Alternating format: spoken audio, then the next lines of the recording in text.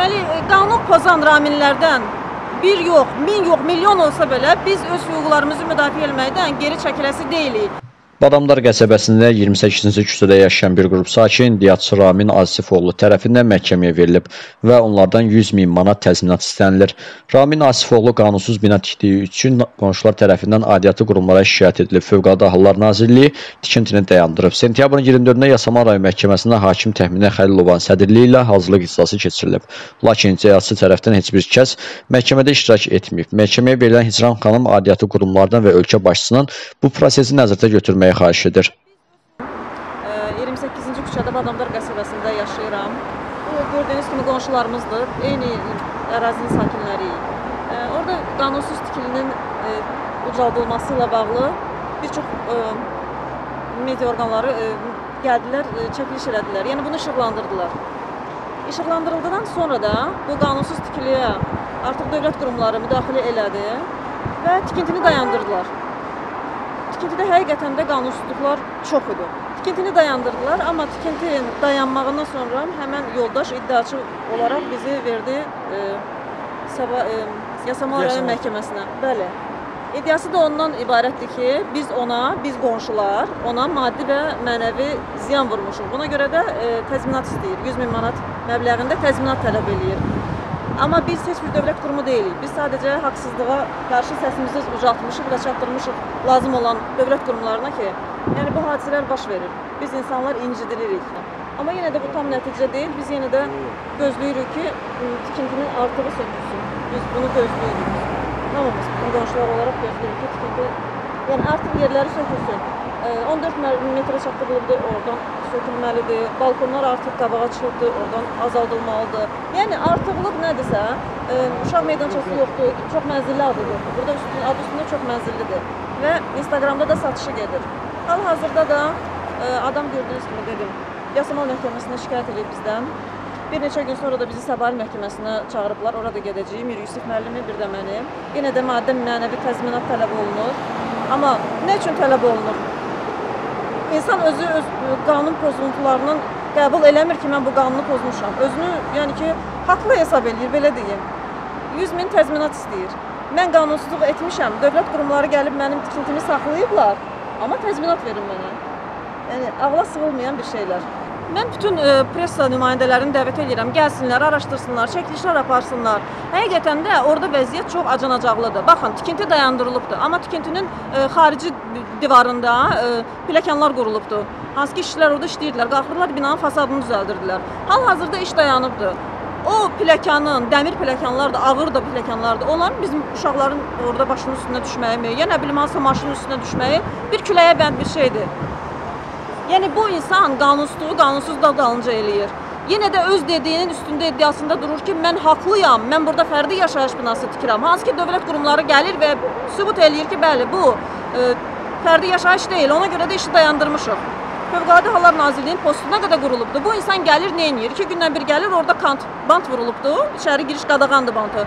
Onu açır, e, deyəndə də deyir ki, mən burada e, qaz turbasını e, qaldırıram, işləri görürəm falan bəs məkan. Qaldırdın, anladıq bunu. Sən axı burada post qurulubdur, icazə verilmir.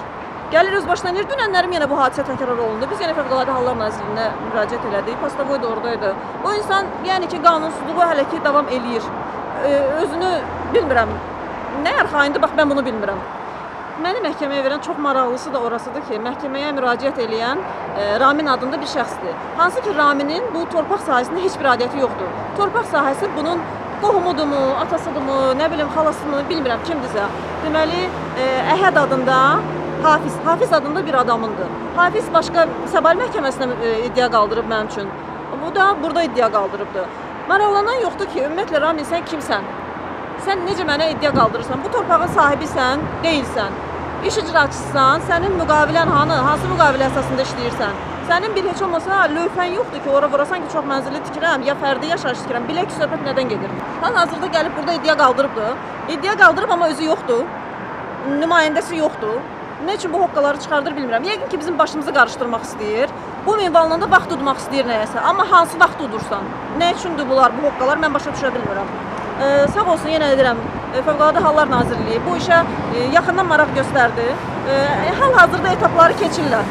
Dediklərinə görə də İsmail bəyin dediyinə görə İsmail bəy ə, tikinti üzrə rəis müavinidir. Onun söylədiyinə görə ə, Səbail İcra Hakimiyyətinə ə, məktub göndərilibdir. Ə, deməli fərdi yaşayışa verilən sərəncamın ləğvi ilə bağlı. Biz ümid eləyirik. Biz inanırıq ki, bu məktub gedib çatacaq Səbail İcra Hakimiyyətinə və onun ləğvinə görə ə, nə isə olunacaqdır. Və bu tikinti yaxın günlərdə söküləcək, bizim də rahatçılığımız yerinə qayıdacaq. Deməli, e, qanun pozan raminlərdən bir yox, min yox, milyon olsa belə biz öz hüquqlarımızı müdafiə etməkdən geri çəkiləsi deyilik. Biz bu yolu davam eləyəcəyik. Biz qonşular, tək mən yox, bütün qonşular, hansı ki narazıyıq onun bu haqsızlığından, biz bunu axıra kimi gedəcəyik və nail olacağıq istədiyimizə. Və biz saxlamamışıq o tikintini, hörmətli Ramin. Bu tikintini dövlət qurumları saxlayıbdı.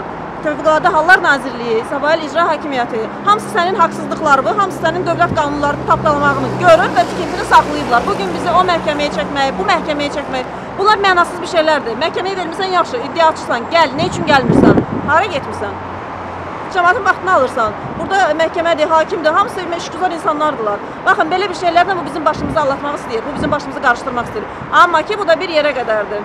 Biz hamımız gözləyirik və ümid eləyirik ki, dövlətin qanunlarını müdafiəsinə dövlət qurumları çox yaxşı da iştirak edirlər. Qoruyacaqlar bizim hüquqlarımızı, müdafiə edəcəklər və bu qanunsuzluğa bir son veriləcək. Yaxın günlərdə də söküntü olacaq. Mən ölkə başçımıza müraciət eləyirəm, çox xahiş edirəm bu məsələni nəzarətinə götürsün. E, Fövqəladə Hallar Nazirliyindən xahiş edirəm, bu məsələni nəzarətinə götürsün. Səbail İcra Hakimiyyətindən yenə də xahiş edirəm. E, Hər birimiz məşğul insanlarıq. Bu insan gəlib bizim vaxtımızı məhkəmələrdə alır. Bu gün bu məhkəmə, sabah Nərimanov məhkəməsi, o birisi gün Səbail rayon məhkəməsi.